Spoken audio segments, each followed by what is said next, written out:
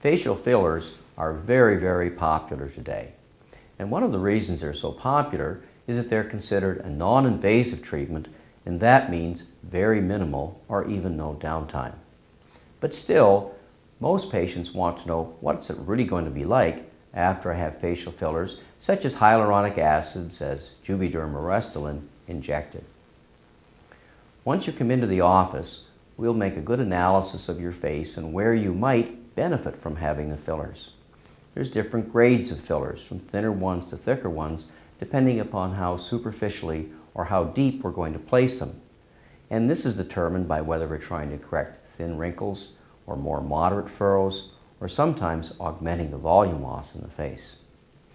Once we've done that, we prepare you by marking up the areas that we're going to inject, and we make sure that we're all in agreement as to the areas of interest. Now sometimes we'll put on some cream called Numit. It's a topical anesthetic cream, and this really does help to decrease the pain or discomfort. Other patients say, no, I don't need that. I'll just go with the injection because the injections do have some freezing, just like dental freezing, right in them. And so once they've been injected, it numbs the area up very quickly. However, there are some patients, and particularly for areas around the lips, we might give a dental injection, what we call a regional block, and by doing so we get complete numbness that lasts for about an hour. So whatever is going to work best for you, we will do to try to minimize your pain. Most patients grade the pain with filler injections between 2 and 4 out of 10, so not too bad. Once we've done the injections, right away we will put on some cool compresses in the office and we'll encourage you to do that at home that night. We also put some pressure on as we do the injections to try to minimize the chances of any bruising.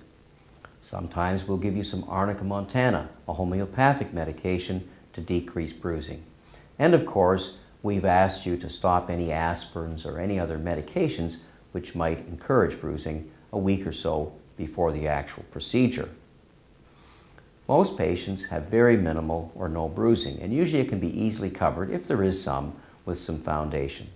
Occasionally, not commonly, patients will have a little bit more bruising, which may take a few days to settle down.